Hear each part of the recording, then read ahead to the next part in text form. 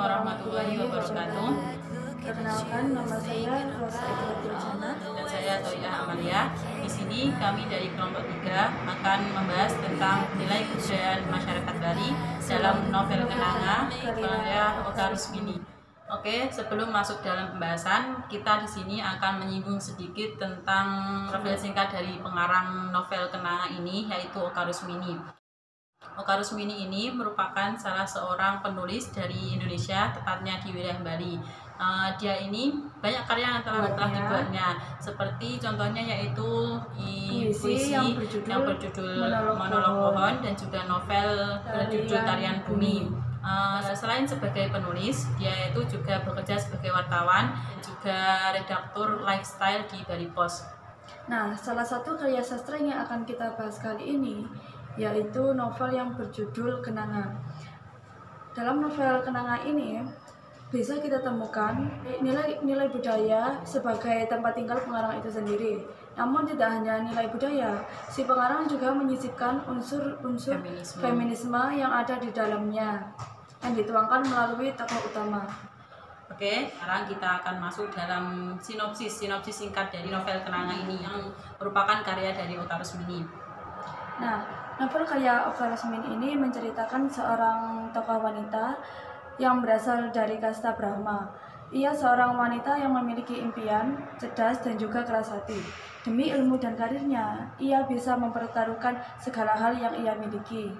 Utama dari novel Kenanga ini yang juga bernama Kenanga itu mempunyai prinsip dalam hidup bahwa hidup itu adalah karir sehingga dia itu bisa mempertaruhkan segala hal untuk karirnya itu bahkan sampai eh, orang-orang di sekitarnya dan juga keluarganya itu salah sangka terhadap Kenanga ini. Termasuk ketika dia pernah dekat dengan dia kan memang dekat dengan salah satu guru besarnya di salah satu universitas tempat dia mengajar. Kenanga ini sebagai dosen sastra di salah satu universitas di Bali itu. Kenanga ini belum menikah, meskipun usianya sudah siap untuk menikah. Akan tetapi, ia telah memiliki seorang anak kandung bernama Lu Intan. Lu Intan ini adalah hasil dari ia diperkosa oleh seorang pemuda bernama Buana. Buana adalah lelaki yang yang dicintai oleh Kenanga dan juga sebaliknya. Akan tetapi, kisah cintanya tidak berjalan dengan lancar karena adiknya yang bernama Kencana. Kencana juga mencintai Buana. Eh, Di sisi lain, Kenanga ini menyerahkan dirinya kepada Buana sebagai syarat agar Buana mau menikah dengan Kencana. Kenanga ini mengasuh mengasuri Intan di Gria yang Kenanga sendiri dan juga orang tuanya belum tahu bahwa Lu Intan itu adalah anak Nun dari Kenanga. Iya.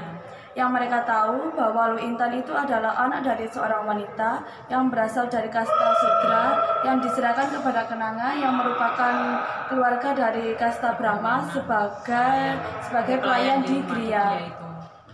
Oke, sekarang kita masuk ke pembahasan inti yaitu mengenai nilai kebudayaan masyarakat Bali dalam novel Kenanga karya Oka Rusmini. Eh, sebelumnya kami memberitahu kalau kita di sini menganalisis novel ini bukan dari bukunya langsung, melainkan kita mengakses file ini dari Ipusnas. Kalau kalian penasaran, kalian bisa em, bisa mengunduh aplikasi Ipusnas tersebut dan kalian bisa membaca novel Kenanga ini. Karena ketika kami mencari buku yang memang dari versi bukunya asli itu sekitar Malang di sini tidak ada. Jadi kami memilih menggunakan Ipusnas ini dan kita membacanya lewat handphone ini. Novel Kenanga ini merupakan karya sastra yang hadir sebagai penggambaran dinamika kehidupan kehidupan adat dan kasta yang ada di Bali. Dengan cara pengarang itu menuliskannya sesuai sesuai dengan keadaan masyarakat Bali melalui novel. Kehidupan adat dan kasta sudah sudah mempengaruhi kehidupan masyarakat Bali, baik hubungan antara individu dengan individu, individu dengan masyarakat, bahkan dengan sang pencipta itu telah memiliki hubungan yang terbangun oleh aturan adat. penjelasan dari Mbak Rosa tadi itu eh, nilai budaya yang, yang yang dipaparkan oleh Oka Rusmini dalam novel Kenanga ini sebenarnya bisa dilihat dari beberapa sisi. Yang pertama yaitu melalui realitas sosialnya, realitas sosial atau pembagian strata dari masyarakatnya itu. Kan kalau di Bali itu menggu- masih menggunakan sistem kasta karena mayoritas masyarakatnya kan masih menganut agama Hindu.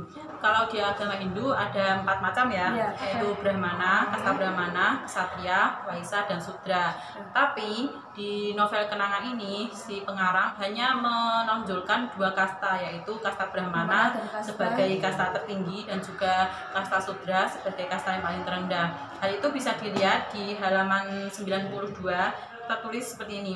Tiang percaya, tapi ini Bali, ada adat yang menentukan hidup kita, apalagi kita bangsawan dari kasta tertinggi. Tempat kita di Gria, kita kaum Brahmana dihargai sebagai surya, diagungkan orang. Apa kau tega membiarkan anak kita diperlakukan sebagai sudra? Nah, di situ kan bisa dilihat kalau eh, kasta Brahmana ini itu sebagai kasta yang paling tertinggi dan yang paling dihormati di, Di- di masyarakat, masyarakat ya, dari masyarakat itu dari kasta sudra juga kayak yang paling ditonjolkan di novel ini. Kasta sudra ini sebagai kasta yang paling terendah mereka itu biasanya hanya sebagai pelayan pelayan, ya. Pelayan di Gria. Eh, pelayan di Gria itu bisa dilihat dari halaman 6 di situ ada kutipan yang menjelaskan bahwa kasta sudra itu orang sudra itu sangat menghormati orang-orang brahmana.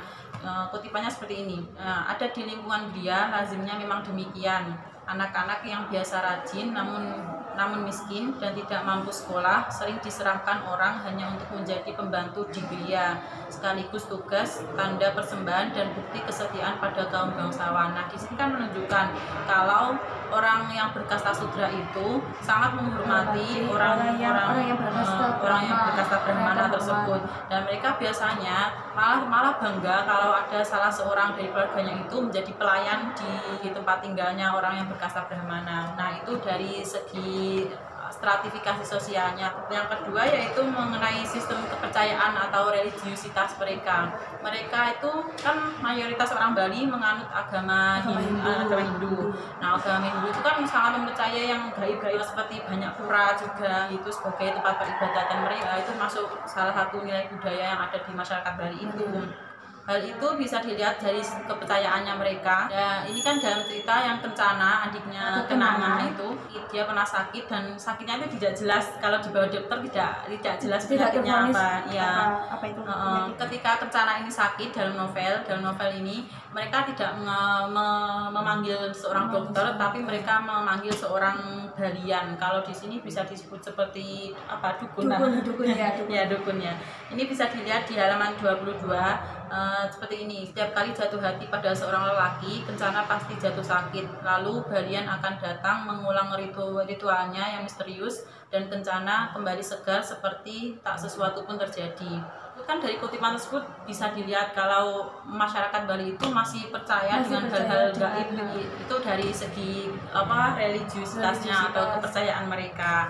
Nah, selanjutnya yaitu mengenai sistem kekerabatan atau kekeluargaan mereka itu kalau di masyarakat Bali itu kan masih menggunakan kasta kalau kasta orang seorang perempuan yang berasal dari kasta sudra misalnya berdasarkan novel ini eh, orang yang orang seorang perempuan yang berkasta sudra apabila dia menikah dengan, dengan lelaki. dari kasta brahmana dia bisa berubah berubah status sosialnya Eh, yang asalnya Ya, dia sudra dia bisa menjadi orang brahmana brahmana.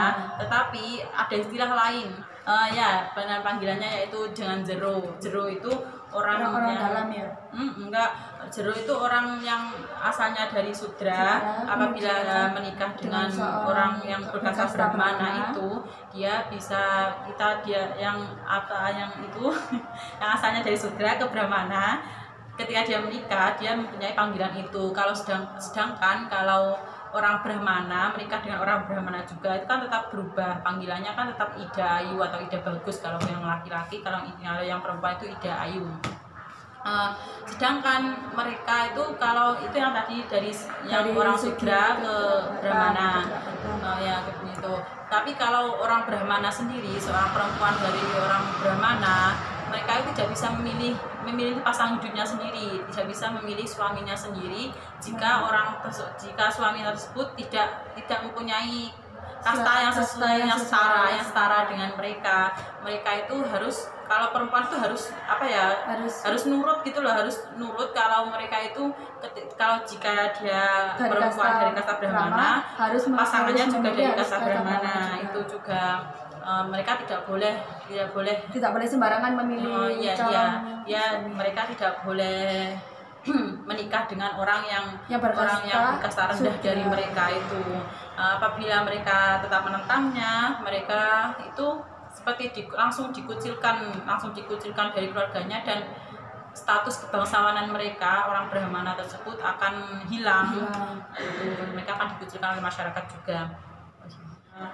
Begitulah dari hasil analisis dari kelompok kami. Eh, kalian apabila kalian masih penasaran, kalian bisa membaca novelnya terlebih dahulu.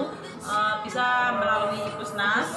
Pusnas kalian bisa mengunduhnya di HP kalian masing-masing atau kalian juga bisa mencari bukunya apabila Jika kalian dapat ya jika ketemu dengan bukunya.